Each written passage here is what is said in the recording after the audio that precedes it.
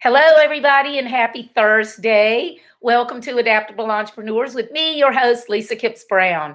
And I'm very honored tonight to have Honorée Corder, who I met Honorée last year in Nashville at Steve Sims Speakeasy. And she is not only an author who has, what do you have, like 53 bestsellers and over $4 million in sales, but she also helps people write their own book. And you also do ghostwriting, right? I don't do the ghostwriting piece. I have ghostwriters that do okay. that piece, but I do the production piece. So for okay. some people, I do the whole rest of the process. Yeah. Okay. So I want you to introduce yourself and tell us about your background and how you got into what you're doing. Okay, awesome. So my background is um, executive and business coaching, corporate training, corporate training, motivational speaking, and I met Mark Victor Hansen, who most people would know is the co-creator of Chicken Soup for the Soul book mm-hmm. series. And when I met him, he said, "What do you do?" And I was very proud of myself, Lisa. I said, "Oh, I'm a coach and a speaker," and I did a little hair flip. And he was like, "Yeah, that's nice. Everybody's a coach and a speaker." he was like, "You better write a book. You must write a uh-huh. book." And I had all those things that go through my head that go, I think go through a lot of people's head. Like, oh, well, okay, who am I to write a book? What would I write about? Who would want to read a book by me? What mm-hmm. what do I have to say? All of the all of the things. But I took that advice that he gave me and I acted on it and it changed my life. It changed my career, it changed my business, it changed my trajectory, it opened doors for me. And so now I very passionately um, encourage other people to write and publish their books and i help them some of them through the process i think that's so awesome that you acknowledged what you felt because that's what everybody feels like yes i think and, you're right and yeah. i think they don't think other people feel like that especially somebody like you who's written 53 books and well, but then I had it, I had written zero. Then, I know that's I, what I'm saying. Yeah. so you're like you were them.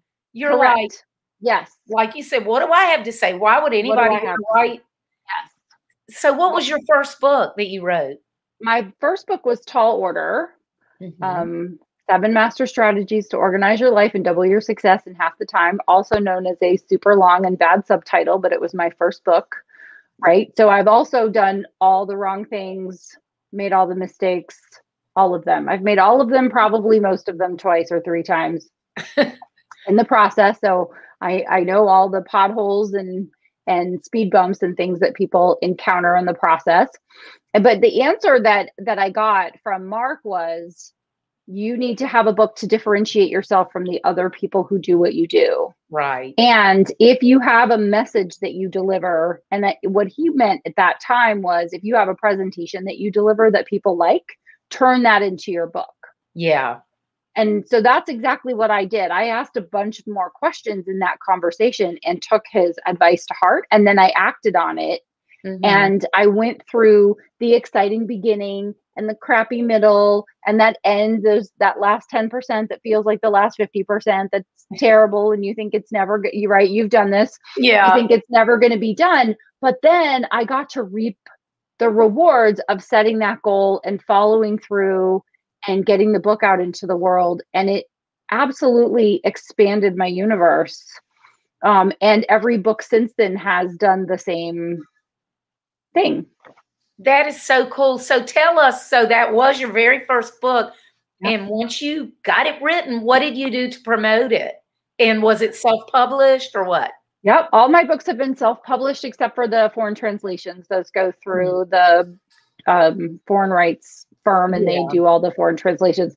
Um, so once I published it, actually, while I was waiting for it to be printed, so it's a paperback book is in printing speak a perfect bound document, right? Yeah. So while the paperback is at the printers, I have all this time on my hands and I'm waiting for these 5,000 books that I've ordered. Yeah. And Mark Victor Hansen said that when he and Jack Canfield were working to promote chicken soup, the original chicken soup book, they did seven things every day to market their book.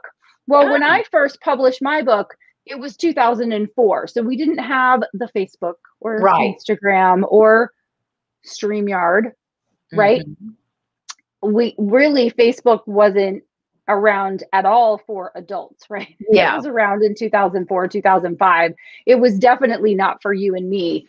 Um, mm-hmm. But so I did what he had suggested, which was go to my local newspaper and talk to them, go to the local business journal and talk to them, call everyone in my Rolodex, remember Rolodexes? Now yeah. it would be the contact list on your phone. And mm-hmm. he said, just tell everyone you have a book and ask them if they want to buy between 10 and 100 copies. Okay. So after I had done that, then I started saying, well, would you like to buy between 10 and 1,000 copies or 100 and 1,000 copies? And so I was able to sell 11,000 copies in three weeks. Wow. And so, and so, wait a minute. So, like the newspapers and stuff were buying them? No, no. The, I just went to them and said, I have a book coming out. Do you have okay. any any feature article that you could do yeah, on a local okay. author? right? Those sorts of things. But then I also went through my contact list and just reached out to past clients, okay. present clients, contacts, people that I knew, and said, I have this book and here's what it's about. Here's who it can help. And would you like to buy some? And that very simple approach, that very simple question. And I called a lot of people. 11,000 books is a lot of books. And I didn't realize until many years later when I started to tell my story that that that was actually interesting that anyone would care about that because I thought everybody yeah. did that. I was a I was a self-published author, bless my heart, right? Mm-hmm. I wasn't traditionally published. I didn't go through a publisher. So I didn't feel that I was worthy. Yeah, and it wasn't as and, common then. And it was kind of like no. oh, self-published. No, I know. Yes. Yeah. Yes, people but uh, but I did it in such a way that it looked professional. Professional, yeah. And I had it designed and I had a professional cover and I had an editor and i had you know i had some some basic things that now are mandatory you can't get away with with not doing those things anymore right, right? you can't just write and publish a book and put it on amazon well you mm-hmm. can but it's not going to be as effective as if you take the time to yeah. dot your i's and cross your t's and so that's what i did is i just got the book out there and then i started not only wanting to sell books but also to sell my services so to sell my coaching services my business and executive coaching services, I was using my book as a lead magnet to, right. to open doors and to engage clients. And if there are two people that do exactly the same thing, but one of them has a book, guess what? Exactly. Yeah. Yeah. Yeah. The yeah. author wins every time. Well, the, the first book I wrote was in the 90s. In 97, it was a technical book. And I know I'm one of these people, I tend to work best under pressure. I'm not a good person at do a little every day. I'm one of those oh. blast it through. As a matter of fact, my last book I wrote in a weekend. But but it was because everything awesome. was already in my head and it's all already in there. Yes, I love basically, that. The last book was basically what do I preach to my clients and what I want what what do I want them to mm. take more seriously? So if I put it in the book, they'll believe it. But the one I wrote back in the 90s, it was a technical book. And I knew I had to have something to create a sense of urgency in myself. So I started advertising in Sail and Yachting Magazine and stuff okay. because it was a technical guide for for marine surveyors and stuff.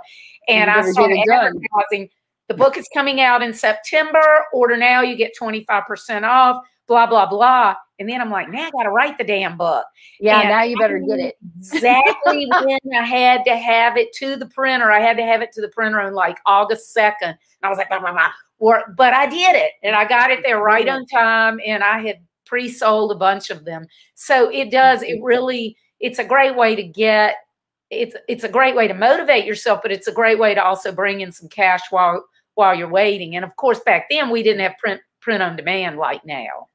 No, it's so much uh, nicer in some in many ways to mm-hmm. be able to to indie publish because you retain all of the rights and the control and the creative control and the content control and the cash control, mm-hmm. but you mm-hmm. don't have to buy like I did my first order. The reason I was so urgent around selling books is because I'd ordered five thousand books.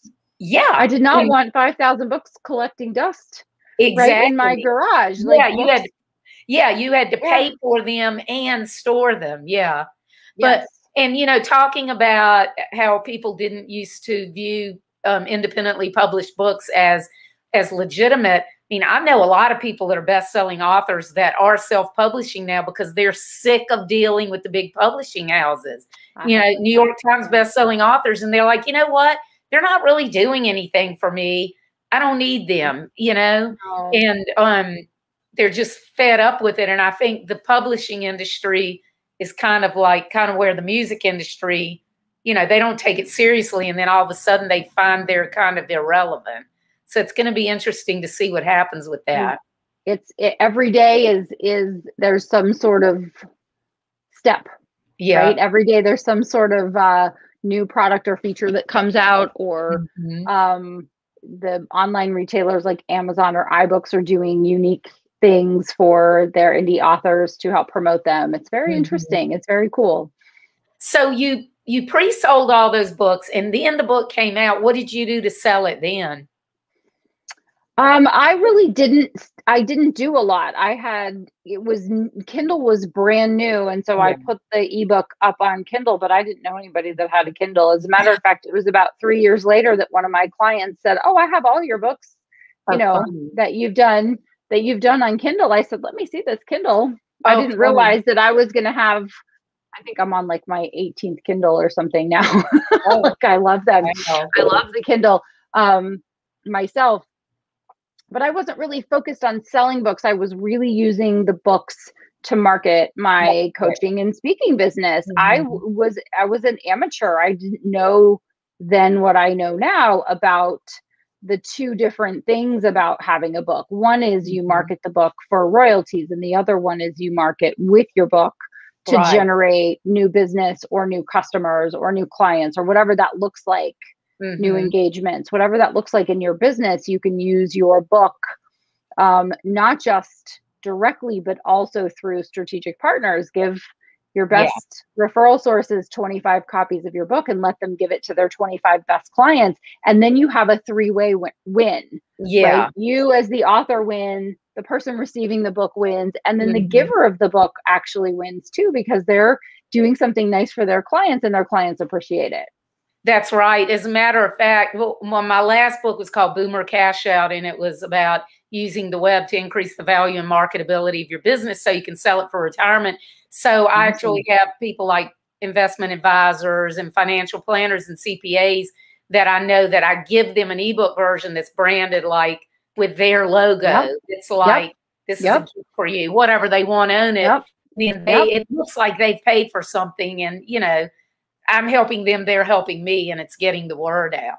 That's Well, right. That book that I wrote back in the 90s, um, it was sold in Barnes and Noble and Borders and on Amazon. And that was back when a lot of people didn't even know what Amazon was, and it was still only books. Oh my gosh. And most people didn't know what it was. And so it it- it's funny how so much changes though. Yes, But- and it it's it's now I think Amazon is where we get everything, right? Not just books, but also Right. books. Everything. Yeah. Everything. Yes. I'm looking at my desk and it's like, what didn't come from Amazon?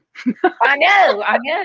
And the Yeah. funny thing is, I was I was talking to somebody the other week, and I was like, "Yeah, when I first started my web web um, design business in '96, you know, there was no Google.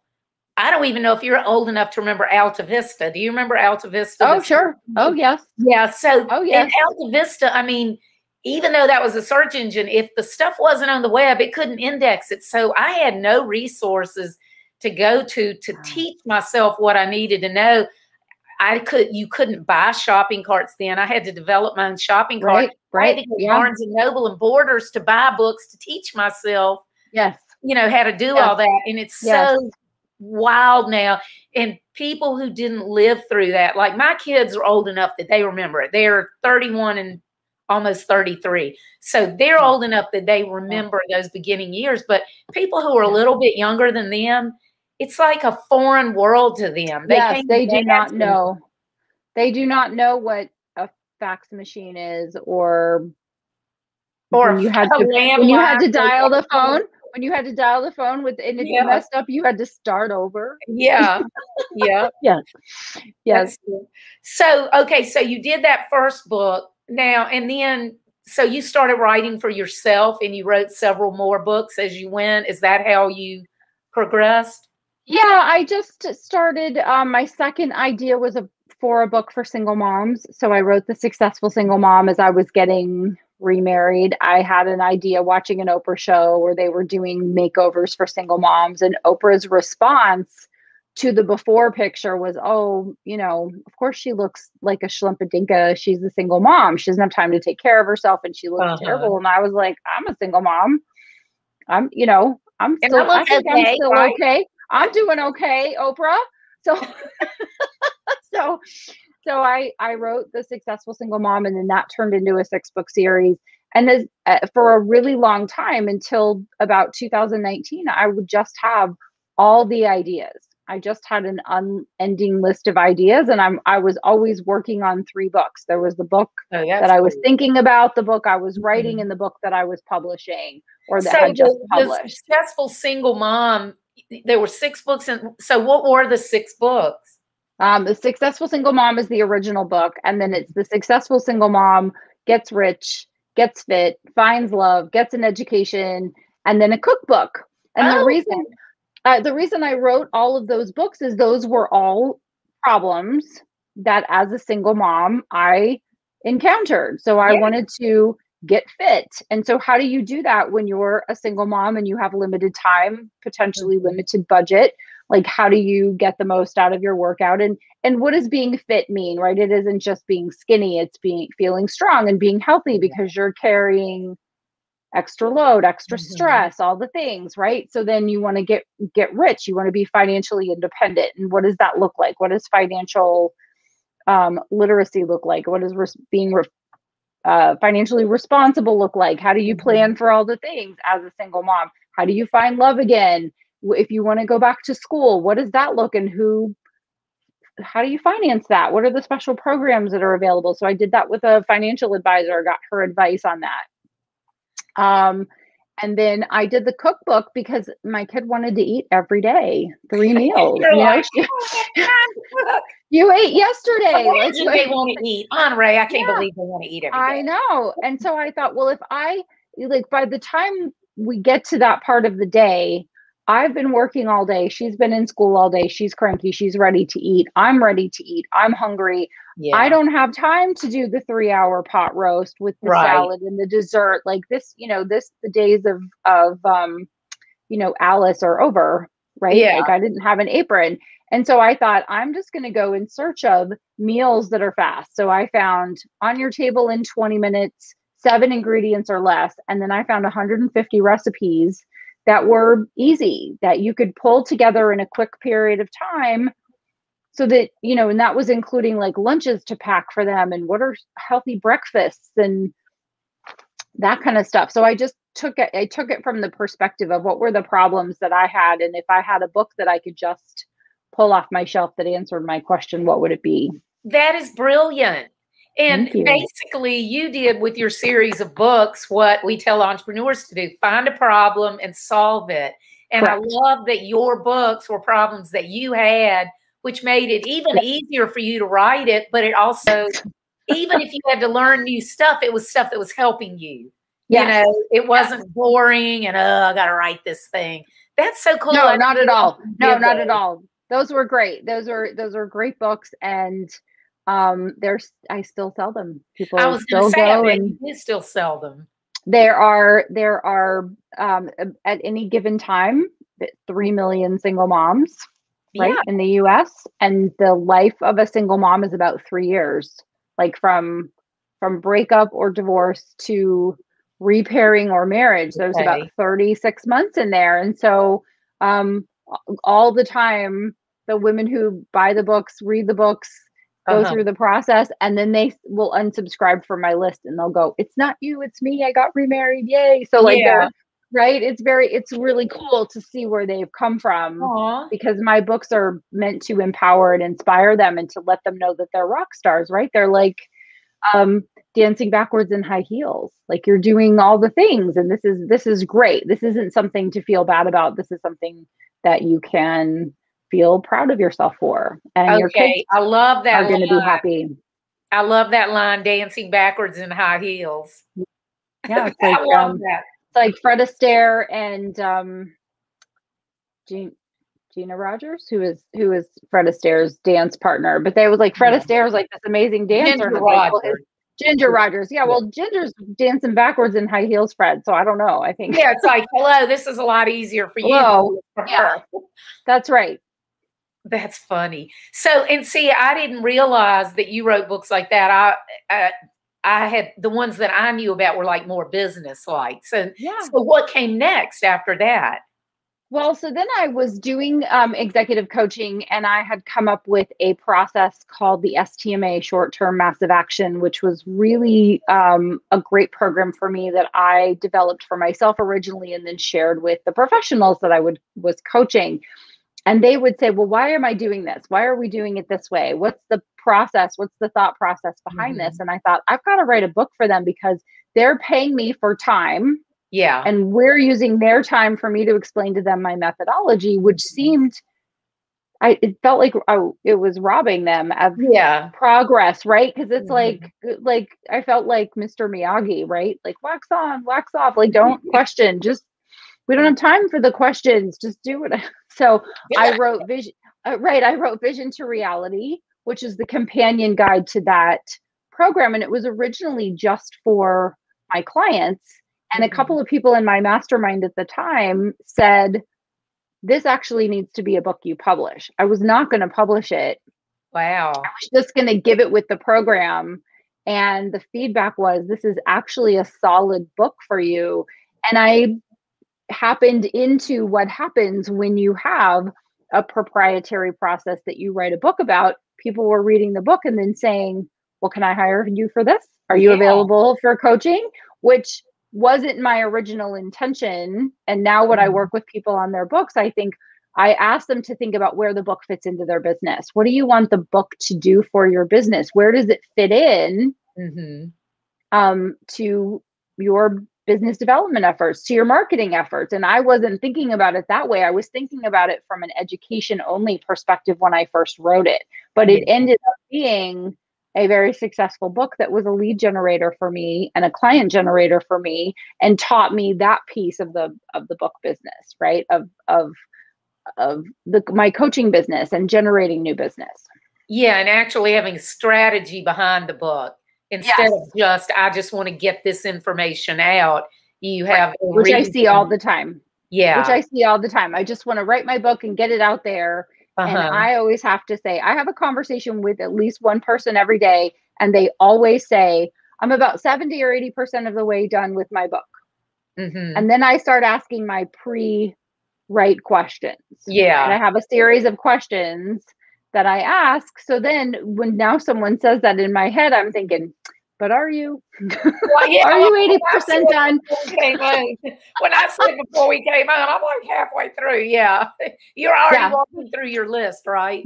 Yes. Well, I'm already thinking, and and this is what I teach, right? Is like mm-hmm. here's here are the things to consider before you start writing, because when you have intention and purpose, when you've thought about like what are all the things you need to know, what Mhm. are all the things you need to bake into the book who is the book for what do you want them to do what do you want the the reader who really likes you to do and who thinks you could be the person they want to work with what do you want them to do and how are they going to know that you're accessible because And- authors used to be inaccessible people and now we're very accessible and so how do you communicate gosh I Mhm. really like Lisa. I want to hire her Yeah. for this.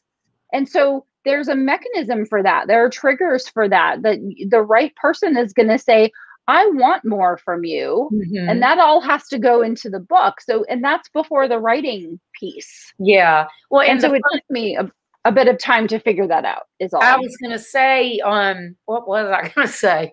Oh, I was going to say the funny thing is that's a lot like web design. You know, it's like, hello, no, before you even think about what it looks like, you have to think about what are you trying to get out of this? What do you want the people Right. to do? How do how can they get to what you want to do?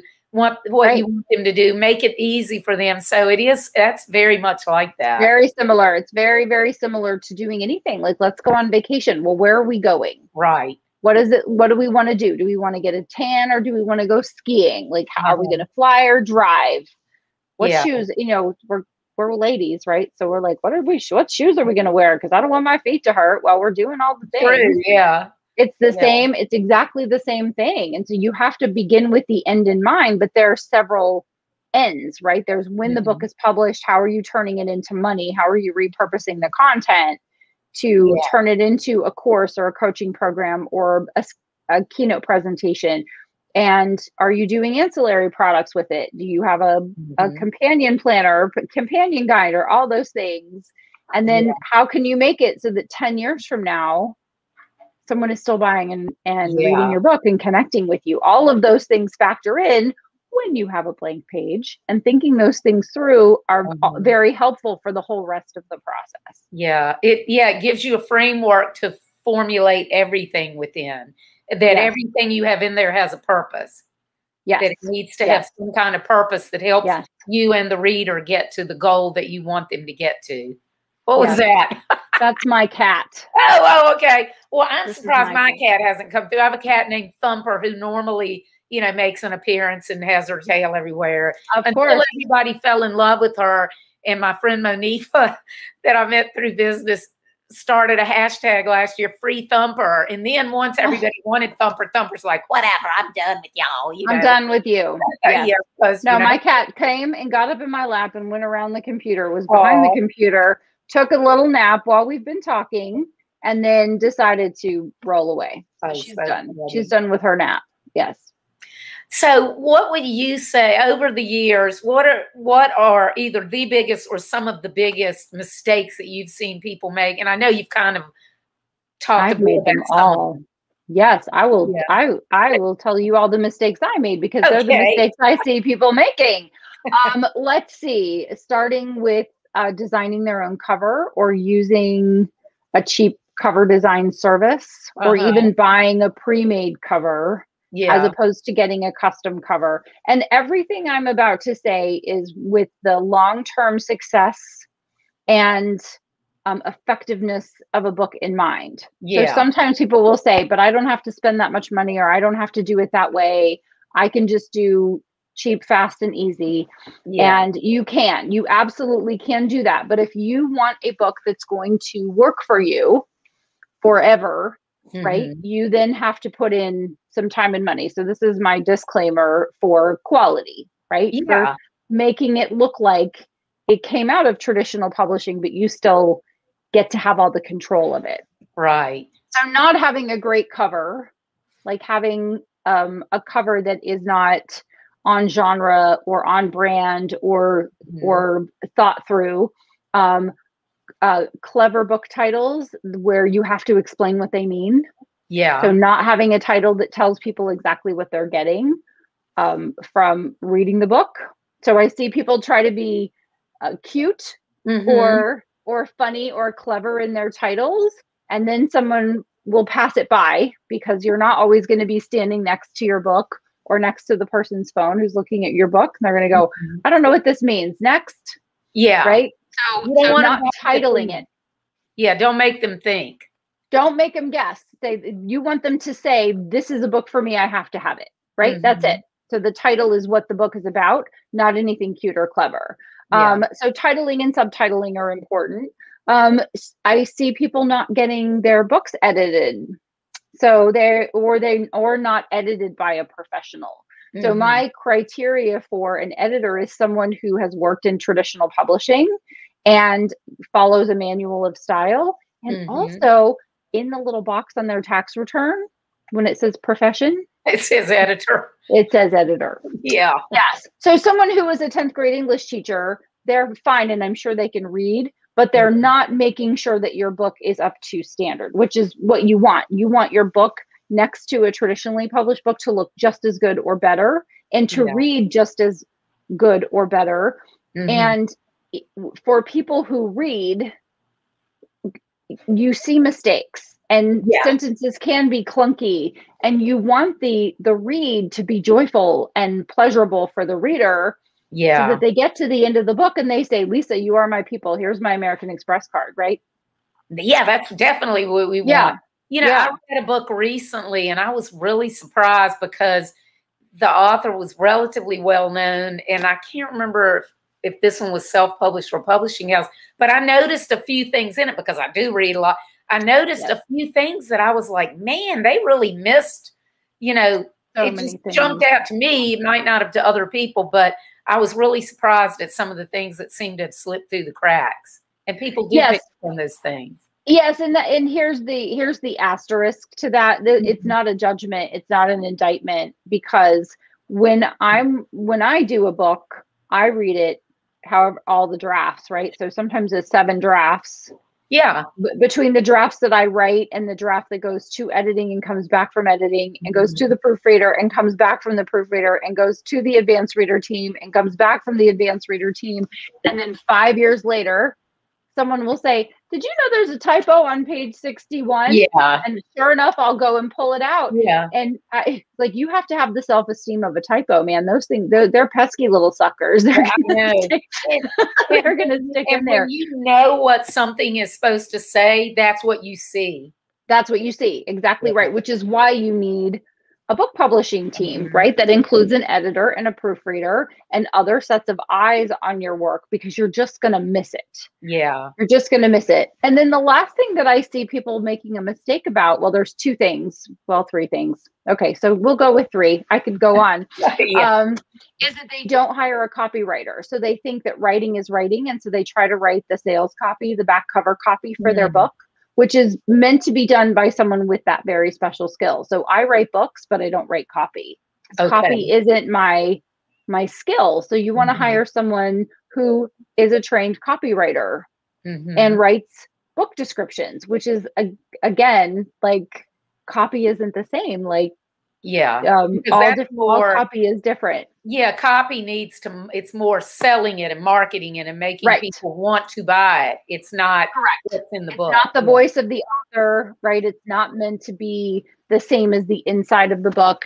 And a lot of times uh, my authors will say, but this doesn't sound anything like me. And I'm like, good. It's not meant to. It's meant to take the eyes on your book because someone looks at a book and what's the first thing they do? They either flip it over and read the back cover copy or they read the sales copy on Amazon, which is Yes. basically the same Usually the same. copy. Yeah. It's usually the same with a couple of little Mhm. differences. And it's the copy that converts to the sale. If the if the book copy doesn't sell the book, Yeah. then next, and there's so many books. There are so many books. You have one half of a second really to get someone to Mhm. go, I want to buy that book. I want to read that book. This is the book I'm looking for. And so you can't leave that to chance. Okay. Well, I hear a, a lot of people talk about um, like Amazon bestsellers, and they'll like um, kind of make fun of or whatever people that put their book into some obscure sub sub sub sub sub category, Yeah. so they can then say they're a bestseller. What do- what's your opinion or whatever on that? So I have a very strong opinion, as you might imagine, and it really is for the good of the author long term. Mhm. And so you can be an Amazon bestseller by putting your book in a subcategory, but that defeats the purposes of engaging the algorithms of Amazon to sell your book. So if you want to engage Amazon as your online retail sales partner, putting your book about website marketing in the kitten leg warmers category confuses confuses the algorithms. It Right. doesn't know who to market it to. And so Mhm. you can be number 1 in that category and be an Amazon bestseller. But I'm going to suggest that you want to be an a best earner, yes. meaning that your book is going to get into the hands of the readers who love it and then will create word of mouth and share it. It does need to be with the right keywords in the right categories Mhm. which is a mistake I see people making is they launch a book at 99 cents and they tell the whole world and they put their book in obscure categories. So they get that Amazon bestseller tag, Mhm. but just make a, a little note of that book and go back in two months' time and look at the ranking on the day that they do that and look at the ranking two months later. And Yeah. you'll notice that the rank has fallen significantly. And once your rank falls, you're not ever going to get it back up. So the short term win is to sell a whole bunch of books at 99 cents and make 35 cents a book, which is just a bummer. Right? Yeah. For all that work for 35 cents, you're Mhm. better off launching at full price after having an advanced reader team and engaging those algorithms in a proper way and Mhm. letting them serve the book up. And I'm sure we anyone watching this and you and I both I know I've gotten 3 emails from Amazon to say here are the other books we think you should be reading. Here are the Yeah. books you need to read. Here's the next book on your you know, are you looking for something to read Honorée? Because I know you want to read these 27 books that yeah, you they're haven't read. going to send you the kitten leg warmers books. They're not because they they're they're going to send me the books that I need to read by the authors I've already read or by other authors that are like those authors or by oth- oth- other books that mm-hmm. are like the books that I've already read. That's how the algorithms work. So if you mm-hmm. don't engage them and they die, you've killed your book, Great which is just such a bummer. Yeah. I have a good friend who's a New York Times bestselling author. She's written dozens of bestsellers and she used to laugh. I mean, like I remember like 15, 20 years ago, she said to me, we were talking about New York Times bestselling. She's like rolling her eyes. She's like, Yeah, a lot of these people, their basements are full of books. You know, it's kind Yeah. of like the same Yeah. thing. It's like people buy their own books or whatever just So they can be a bestseller. yeah, can and it doesn't bestseller. really mean, it's an ego thing, but it doesn't mean anything in the long run. So you spent your money mm. to have your book in the basement so that you can say you're a bestseller. So it's kind of Yeah. like and ultimately that's okay if that's what somebody wants if they're Yeah. like look I, it will make a difference for me with a contract or Yeah. with whatever if that makes sense for you there's Mhm. no judgment right in my mind it's either True. effective or ineffective right so if that's an effective move for you and i know people that have said i've spent $250000 to make wall street journal new york times but it's now you have to sell this many books on this platform this many books on this platform this many Mhm. books on this platform and so what are you really going for yeah. and is it really going to be a, a Mhm. 2x 10x 100x return on your time and investment or would you do, be better to do it a different way that might be actually more effective in the long run Mhm. just something to think about right it's a strategy it's it's strategy Yeah. Or what lack- what is your goal? What are you trying to get Right. out of it? And then Right. work backwards to what your approach is going to be. correct correct yeah So um what's your most recent book? my Can most you recent book? Can I remember? Yes, my most recent book I published in December of 2019. Very proud to to write and publish the Miracle Morning for Teachers with Yeah. Hal Elrod, which is a which is a passion project. That's awesome. Um, um, we wanted to to take the the Miracle Morning lifesavers, the pra- the practices of the most successful people in the world, the most successful and effective people in the world, and introduce them to the people who spend the most time with our children, with our next generation. And so empowering teachers to practice silence, affirmation, visualization, exercise, reading, and scribing. So self-care, right? Self-care, Wow. um, self-development, personal development, all those things, and then teaching it to kids. So that book um, will be published. Um, I just got the the cover not maybe a week ago that it's being published in German. So that's the one for the one for kids or the one for teachers or the, The, one, for teachers. The one Okay. for teachers. I'm Yeah, but glad the, I asked you though what your most recent book is because my sister is actually a Spanish teacher and her birthday's next weekend. I need to Oh. get that for her for her birthday. That'll be perfect. yes, yes, and we don't have it in. Spanish yet, but that would be so shows. cool. Yeah, she doesn't watch my show, so she'll, She'll, it'll So- still be a surprise. it'll That's still be a surprise. She won't know, but I'm so I'm really glad that that so and tell me the uh, the book um you must write the book right or you must have, write yeah, I book. have one. I have one. Yeah, You you must must. write a book. you must write a book. I have that book. must write a It's great. So tell tell the audience about that and how that came to be. Yeah, so this book, um, th- this is one of those books that was a a bigger than Honorée kind of a thing. Um, I was honored to be asked by Amazon to go to New York and do a media breakfast in 2016, and they were bringing in five authors, including me, to talk to the media about KDP, their platform for publishing, and how they wanted to encourage more professionals to write and publish books on Amazon. And at the time, my most recent book was a book on divorce called The Divorced Phoenix. And so they were like, we're just going to feature your most recent book. Like, well, this is just a book from my perspective. I am not a divorce expert, right? I am mm-hmm. not doing any of those types of things. And the breakfast got rescheduled. And so I had the idea to write this book. I said, would it be helpful if at least one of us had a book on why everyone should write and publish a book? Yeah. and parentheses on Amazon. It was not meant to be is not meant to be gratuitous, right? But they are providing a, an awesome platform for authors, certainly one that changed my life. And they said, yes, yes, please write the book. So Yeah, that's a great Very- idea. in very, very short order, I wrote You Must Write a Book, which then I published a companion workbook, I Must Write My Book. So it's the steps in the book. And then because Amazon was behind the book and, and lots of people want to write books, I now teach a course on it. And for some people, I actually do the process for them. And it's been, you know, the gift that keeps on giving. Um, That's which is just so great, which is just so great. And now I get book babies. That's what I call the the books that are that are um, inspired by this book, which is really fun. That's so cool though, because they were there to have you speak to help them get people to write books. Yeah. And then you recognized this opportunity to write a book that you felt fit your career better than the the single mom thing. So it's like this circle, Yes. you know, everything Yes. fed off of each other. So they were helping you, you were helping them, and everything Absolutely. worked out great for Yes. all of you. Yes, Plus, and it five years later, and it helped everybody that was there.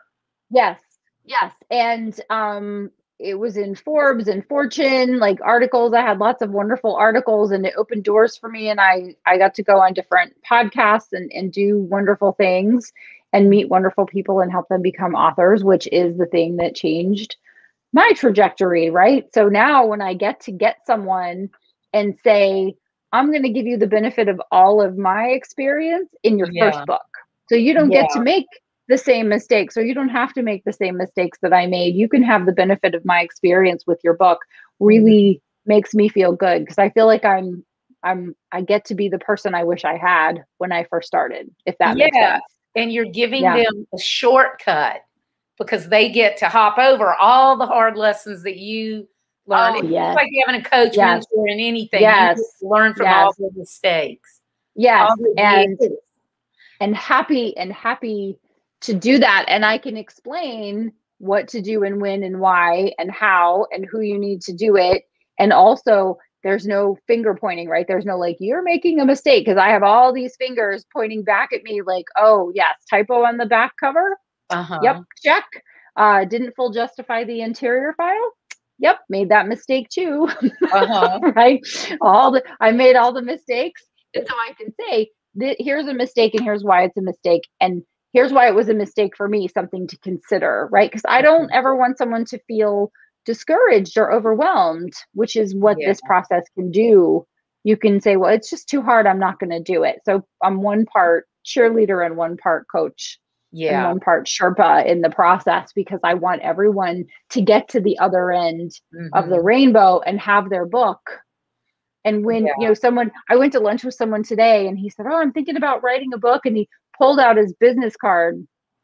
And I often joke with people that when you hand out your business card, you should hand it out and say, "Here, would you throw this away?" I know. Yeah. But if you have a book, no one ever throws away a book, even if they don't read it or it's not the right book for them. It's surely going to find its way to someone Right. who could use it, right? It's going to be passed on, but no one just says, "Oh, I don't need this book. Let me Yeah, throw it in the it- trash." Mhm. Yeah, that's a great point. Yeah. It really is. Gosh, I've I've enjoyed talking with you so much. You have so many great points. Tell everybody how they can find you, how they can find out more about you and about more about working with you. Oh, wait. Can I ask you what are like if somebody wants to work with you, what would be like price ranges or whatever for working with you and your team? Yep. So you um, would ask that right up front, don't you? Um, yes, I, I do all the time. So I have the course called Publishing PhD, which is based on this book, which is a fully comprehensive eight week course that I teach live. And I'm about to turn it into a blended learning situation. So it'll be live and on demand with Okay. access, with still access to me. Um, Mhm. Right now, the course is 6000 or I have a self study course that has no time with me that's 1300 if someone has more money than time, I do have a bespoke uh, custom service where I act as the publisher for them, but they retain all the rights. Mhm. And without a ghostwriter, around seventy-five thousand, and then it goes up from there. So okay. between one hundred and fifty and two hundred thousand Okay. um, is is a, is that service that I provide as well. Yeah. Yeah, and so and you you do more of the strategy and the planning and whatever, and then your team does the ghost writing and the copywriting and the design and stuff. If somebody actually works with you on a project. Yes, if if someone hires me to do it, I call it auto magically becoming an author. So yeah. I have a six month small book package that's 40,000 mm-hmm. and I have a team that does everything. The author just says, yes, I like this. No, I don't like it. So mm-hmm. the time that they spend is in approving things and working with the ghostwriter. And I actually handle all of the details. That's awesome. Um, and so like on their behalf. The ghostwriter, do they most do does the person whose book it is, do they mostly like record their thoughts and then the ghostwriter uses it?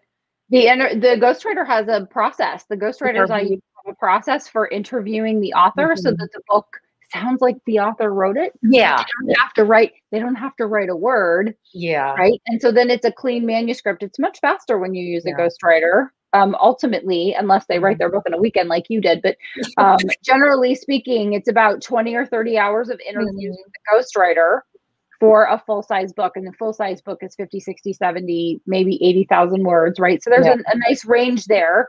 But so in the small book, book, package that you mm-hmm. just mentioned, so how many words for that? The 50, 16,000.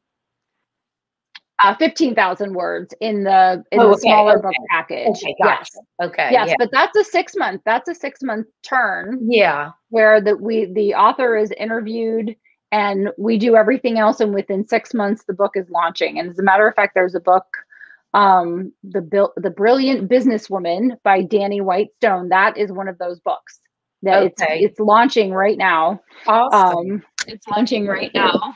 Um, so, for the launch, do y'all help like set up PR and get them interviews and stuff, or how does that work? Or do you have? I have a I have a resource. I have a resource for that. I actually do more um, uh, scrappy marketing, if you will. Yeah. Um, I I do have a, a connection with a former Oprah producer who oh. is an author media coach, and so she trains authors how to connect with the media and get on shows without PR. Not oh, that nice. I'm against PR, but she has a process that as a post producer for Oprah for many, many seasons, she understands what producers are looking for for different shows. So if you have a book and you want to get into the media, mm-hmm. especially for that validation, right? That's really what media is for for authors. Right. I don't know that there's a lot of book selling that goes on. I know people mm-hmm. have gone mm-hmm. on the Today Show and sold 100 books, but if you have that clip of the Today Show on your website, it's like being a TED speaker or TEDx speaker. Right. People notice, right? They they recognize that that that's important, mm-hmm. and it's a validator. Yeah. But my role is to help them to monetize their book. And so when I am working with someone, I'm helping them to write and publish their book. But the most important function that I serve is to help them to optimize the book. So to create that reader author relationship okay. and then to monetize the book, which means I put my brain on their business. So I put my strategic brain on their business to help them to figure out how do you turn this book into money? What else can you do to repurpose the content of the book? What types of programs can you offer? Mm-hmm. And how do you use the book to generate that business? So I provide a fully comprehensive marketing plan for my authors. And I'm working on a, a medical book right now. And so the author is doing a book and a workbook and a website and a podcast and a nice. course and all of that is part of the the strategy for the book. So we started in september of last year. We'll launch the book in september of this year. And then it's an annual book. So there will be updates to this book every year Great. for many many years. So we're thinking much bigger picture than just you know the first conversation which was i've been wanting to write this book for 10 years uh-huh. and then i put him through the questions okay well what do you want the reader to do uh-huh. how does this fit into what your long-term vision is and really got good clarity on that mm-hmm. that's actually my favorite part lisa is helping people to figure out how to connect with people to be of service to people and then monetize that yeah. so it's a win right it's a it's not just the win for the author they don't just make more money yeah but it's a win for the reader or the new client that connects because of the book and That's then so the right person is going to really want to connect with the author and they're yeah. going to be so grateful that they found the author through the mm-hmm. book and then they get to work with them at a deeper level so some yeah. people read you must write a book and they write a book and they send it to me and some people read it and go I need more information mm-hmm. right? And this this I'm just using myself as an example. And then some people say, "Here's my American Express card. Like I'm too busy doing these things over here. I do not have time to write a book." So do all the things uh-huh. and let uh-huh. me know when I can go to my party and launch the book. yeah, just tell me when and where to go. Just um, tell me where the party is and what what kind of cake we're having. do you ever have people that come and they say, "This is what I want my book to be about," and then after you talk with them, and then you're like, "No, that really isn't what it should be about." And, and the reason I'm asking, I have a friend who founded a TEDx organization, and she said that is one of the biggest, the most common thing they have is people come in and they're like, "I want to talk about this," and they're like, "Nobody cares about that." You need to yes. know down. So you have a lot of that too. I don't have a lot of it. What I see a lot is people get a title in their head and it's that clever or cute thing that I talked about, which they understand what the concept is, but then they have to explain it. Yeah. Or they're wanting to write to a, a, a market of which there is very little. So okay. it's a lot of effort that goes into a book, but we can use kitten leg warmers again because that's my favorite. if you're gonna write, if you're gonna write a book on kitten leg warmers, you have to go and and see are people searching for books like that? Are there other books like that? Which is a is a market validator. But then how many searches are there? And what's mm-hmm. the conversion? And how much are those other books making? Yeah. So if an example i use in my course is that when i had a mortgage broker reach out to me and say i want to write a book for mortgage brokers we did the analysis and there are 40,000 mortgage brokers, which is not really a lot yeah. because you're not ever going to get 100% market share. Yeah. So you want to sell 40,000 books, which means you need to have 4 million in your market. Yeah. So my suggestion was instead of writing a book on being a great mortgage broker for mortgage brokers, why don't you write a book for real estate agents? Because there are lots of real estate agents and new ones all the time. And mm-hmm. then write about the things that real estate agents need to know for their clients. So, as a real estate agent, you need to make sure that your clients can get financing. Yeah. And there's all different kinds of financing. There's reverse mortgage, and there's first time home buyers, mm-hmm. and there's military, right? So, you could write a bunch of shorter books and give those out to real estate agents, and then they're sending clients to you. So instead of yeah. being, I'm the best mortgage broker, why don't you be a good mortgage broker too? It's like, why don't you empower real estate agents and their clients? And that, again, is that triple win that I was talking about earlier. So sometimes I just can suggest perhaps this is a different approach. Yeah. For an even better return. And then sometimes people just want a legacy book, they just want to write their story so that mm. their grandkids know what really happened. Yeah. And that's okay too. That's just not what you would pay forty thousand or one hundred and fifty or two hundred fifty thousand dollars to do. You could just write your book and go down to Office Depot and, and have them printed out, right? Yeah.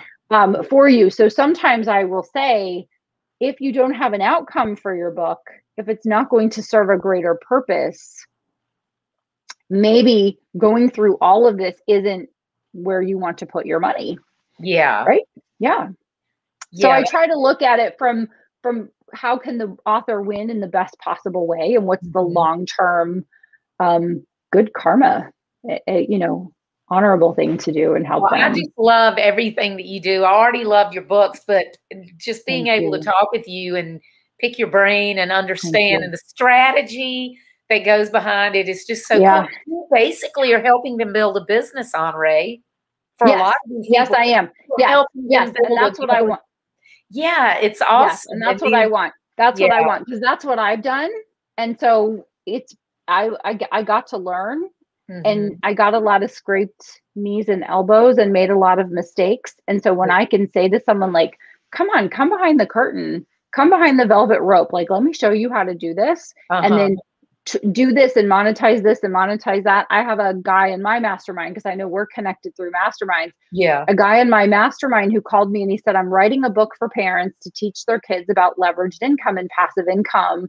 and multiple streams of income. Mm-hmm. And he has a six year old and he, everything in the house, they rent from the six year old. So oh, like funny. when I use the toaster, when I use the toaster, we pay our daughter and we teach her about uh, obtaining assets and then leasing them out or renting them out to that other people. That is such a good idea.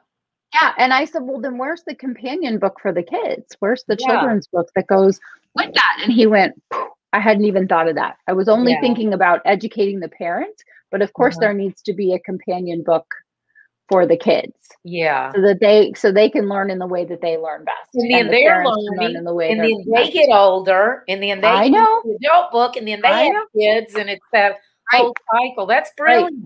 You're so Right. smart. Oh, thank you. Thank you. No, I thank you. I I appreciate it. it. Well, and the thing is, you're like me. I just love strategy and big picture Me things too. Yes. Yes. That's the most fun part, isn't it? For, Yes. for me, Yes. for us, people like us. Yes. Yes. The technical pieces of, of publishing a book now after I've done it 200 times. So Yeah. like that, that part is not hard for me at all or challenging for me because it's, that's the easy part. And there's a lot to know, a lot of things that can be Mhm. done correctly or incorrectly. So I, that gets handled very easily. The fun part for me is to sit down and say, okay, so tell me about your business. Tell me what you've been doing. Tell me what you want to do. Tell me how you generate business. And Yeah. then let's figure out how to turn your book Mhm. into the center of your wheel of fortune. Yeah. So it's the center, and you're creating all these spokes of income in different Mhm. ways to connect with people in ways that work for them. And in internet marketing, which I'm not necessarily a fan of that whole funnel process, but it's just a little bit different take on that. It's like some people can afford a book, some Mhm. people can afford an ebook, some people can afford a physical book, some people can afford a course, some people can afford coaching. So right. And so if you create something that serves all different types of people Mhm. in ways that you want to serve them, then you make a living and you help people as well. And so that for me is the most fun part is to really sit down and go, okay, so we've got the book. The book is handled Mhm. and we've made sure we put all the stuff in the book that needs to be in there. Now let's let's get that kid out on the out in the you know on the playground and get it working. Yeah. I want to tell you, I meant to tell you this earlier. Do you know Richard Mulholland? He owns Missing Link, founder of Missing Link Presentation No. Powerhouse in Uh-uh. South Africa. You would love Richard. He's written a, written several books, but he was telling me that with his books, he said, like, you know, and he's a paid speaker. He teaches people to be professional speakers, Love but it. he speaks, you know, all over. And he said, but a lot of times they won't have a bucket of money to pay a speaker, but they will have a bucket of money to buy 500 copies of his book. That's right. And That's they- right. And so, and he said, I would rather them buy all these copies of my book to Of give to the people that come than Of than course. pay me to be there. So he ends up making money anyway, but he's got this thing out in the wild that goes from person to person. So that's another way that you can Yes. use book. I thought that was really Yes. interesting. That's one of the things if you're if you speak to colleges, right? Colleges don't have speaker budgets, but they do Mm-hmm. Have book budgets. They'll buy Yeah. book budgets all day. And now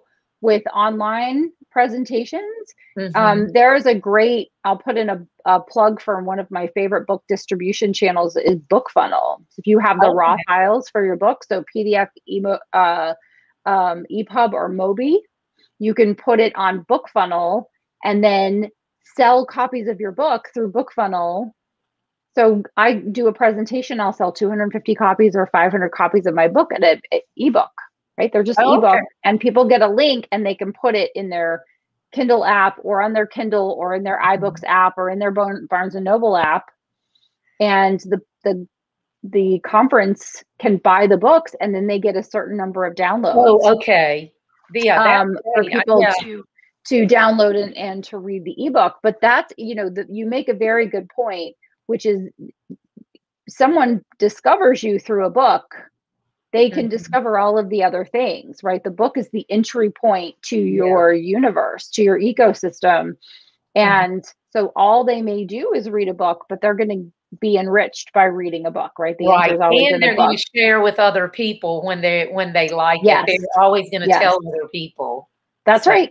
That's right. well, i have had you for an hour so i'm going to let you go but i feel like i can talk with you all night Honorée. I think so. I think so. We'll have to Oh do my it gosh, again. this has We'll been have to do so much fun. Thank you so much for spending My the time pleasure. with us. I really appreciate it. Absolutely my pleasure. I truly appreciate And- the in- invitation. Thank you. And tell everybody before we go how they can find you.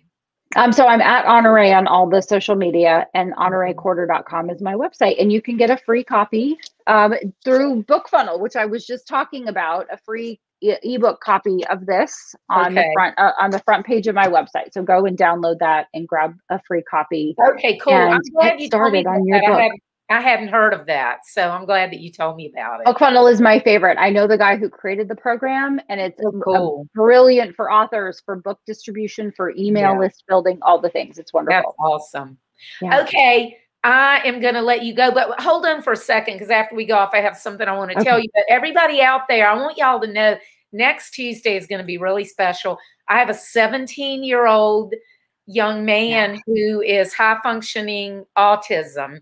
He is an entrepreneur. He is uh, like second degree red belt in Taekwondo, which is right below black belt. He plays bass guitar. He puts together these huge Lego of mechanical things and castles that he pays for the kids himself himself. He is going to be on talking with us and sharing his entrepreneurial experience and how you know being different and learning differently. And but he is just amazing. Disclaimer he is my cousin but he is amazing. I'm so inspired by him every day. So i hope that y'all will join me and trevor next next tuesday on disrupt your now so thanks everybody, and I will see you soon, and I'll see you in a minute, Honorée. Okay. Okay. Thanks.